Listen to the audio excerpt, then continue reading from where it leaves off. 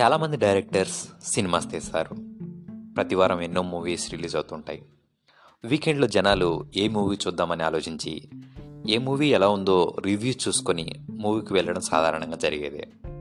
కానీ కొద్దిమంది డైరెక్టర్స్ తీసే మూవీస్ ఎప్పుడు రిలీజ్ అవుతాయని ఈగర్గా వెయిట్ చేసి రిలీజ్ అయ్యాక రివ్యూస్ చూడకుండా మూవీ చూడటానికి వెయిట్ చేసేలా ఉంటాయి.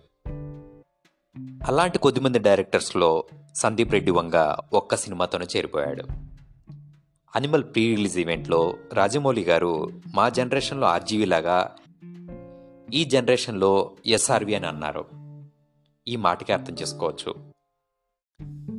ఒక సినిమా లవర్గా ఆర్జీవి మంచి సినిమా తీస్తే ప్రపంచ బాక్స్ ఆఫీసులు బద్దలవుతాయని ఆశగా ఎదురు చూసేవాడికి మరో ఆర్జీవి కనిపిస్తే ఇప్పుడు ఎస్ఆర్వి రూపంలో వచ్చేశాడు మరో ఆర్జీవి ప్రతి జోనర్లో సినిమాకి కొన్ని సెట్ ఆఫ్ రూల్స్ ఉంటాయి.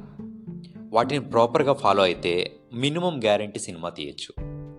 ఇవేమీ ఫాలో అవ్వకుండా న్యూ ట్రెండ్ సెట్ చేసి సినిమా తీసి హిట్ కొట్టడం కొద్దిమందికే సాధ్యం. ఆ లిస్ట్లో ఎస్ఆర్వి జాయిన్ అయిపోయాడు.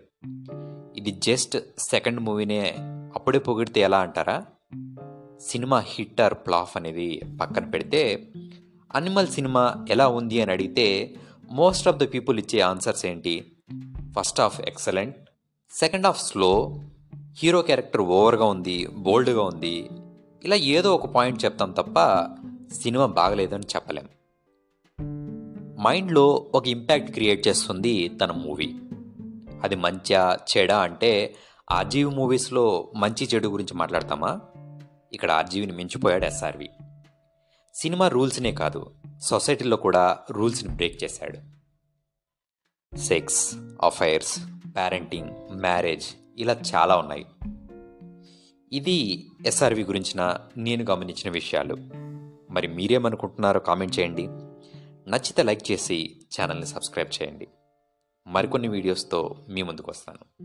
ఇలాంటి మరిన్ని ఇంట్రెస్టింగ్ వీడియోస్తో మళ్ళీ కలుద్దాం. Until then, Tata.